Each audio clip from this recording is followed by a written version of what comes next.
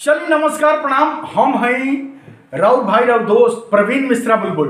आज सत्ताईस रूम, तीन बैंक्वेट हॉल दो रेस्टोरेंट यानी सिवान का सबसे बेस्ट और luxury hotel hotel grand Patliputra का उद्घाटन हो गया दरोगा राय कॉलेज के पास।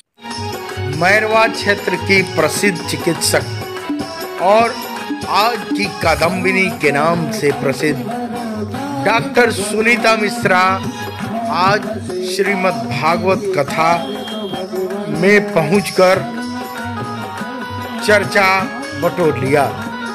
बताते चलें कि सिवान जिला के भावी लोकसभा प्रत्याशी, आज की कादम्बिनी के नाम से प्रसिद्ध प्रसिद्ध चिकित्सक डॉक्टर सुनीता मिश्रा ने श्रीमद् भागवत कथा में शिरकत की। चारों तरफ़ चर्चा का बाज़ार गर्म हो गया।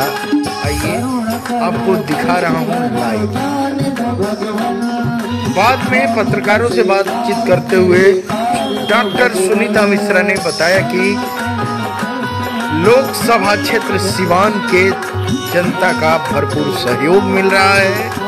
उन्होंने कहा कि हमेशा सामाजिक और धार्मिक कार्य में लगी रहती हैं।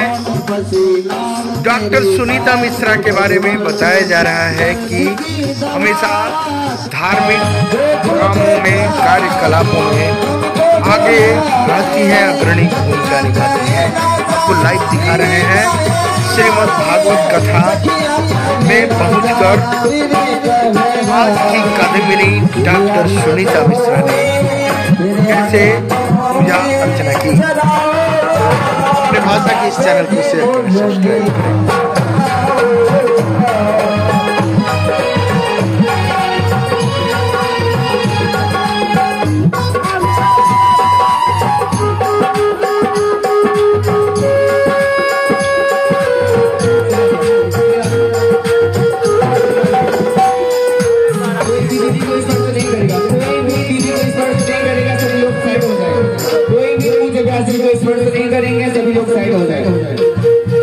हाथ जोड़ करके राधे राधे बोलेंगे सभी लोग, क्योंकि वो चलती जा रही है आप पैरों पे हाथ मारेंगे तो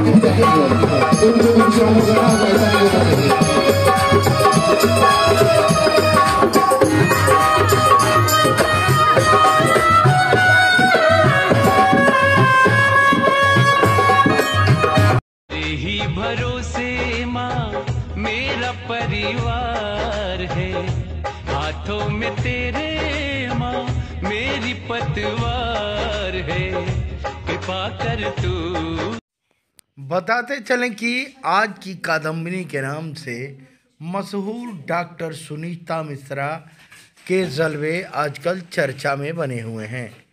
बताया जाता है कि डॉक्टर सुनीता मिश्रा एक ऐसा नाम है जो लगातार सिवान ज़िले में घूम घूम कर पब्लिक से आशीर्वाद ले रही हैं।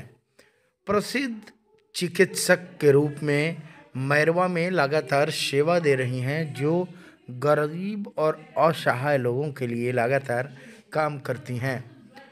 उन्होंने बताया कि आज की कादम्बनी के नाम से लोग उन्हें जानते हैं और लगातार गरीब दुखिया परिचय अपन बता दी डॉक्टर सुनीता मिश्रा मैरवा सिवान सांसद उम्मीदवार छोटे बच्चों के किसी भी तरह के इलाज के लिए पधारे। डॉक्टर मंजीत रंजन और हृदय के किसी भी बीमारी के लिए पधारें डॉक्टर रागिनी सिंह सिवान अस्पताल रोड बाईपास मोड़ के नज़दीक। विज्ञानानंद केंद्रीय विद्यालय चनौर रजिस्ट्रेशन नामांकन प्रारंभ हो चुका है। जल्दी संपर्क करें अत्याधुनिक श्री राम इंटरनेट हर प्रकार के ऑनलाइन सुविधा के लिए पधारें पश्चिमी पुराना ढाला के पास